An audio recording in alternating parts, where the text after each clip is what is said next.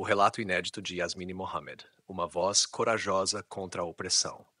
Em um relato impressionante e tocante, a canadense Yasmine Mohammed compartilha pela primeira vez sua história de vida, marcada por coerção, coragem e transformação.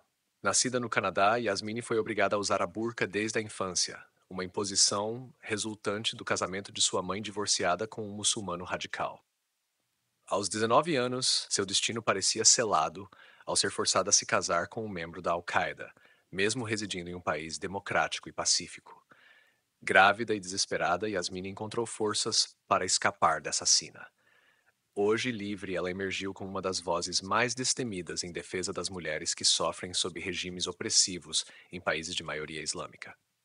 Em uma entrevista reveladora para a Cruzoé Entrevistas, Yasmini relata sua trajetória e discute seu livro Unveiled: How the West Empowers Radical Muslim, sem o véu, como o Ocidente empodera os radicais islâmicos em tradução livre.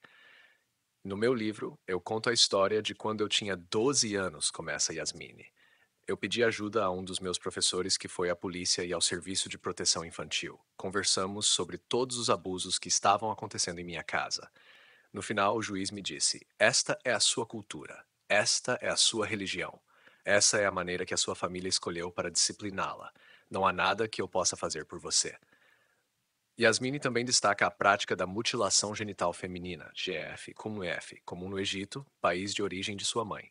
Se uma menina é vítima de MGF e nada acontece, então não haverá impedimento para que sua família faça o mesmo com outras filhas, alerta ela.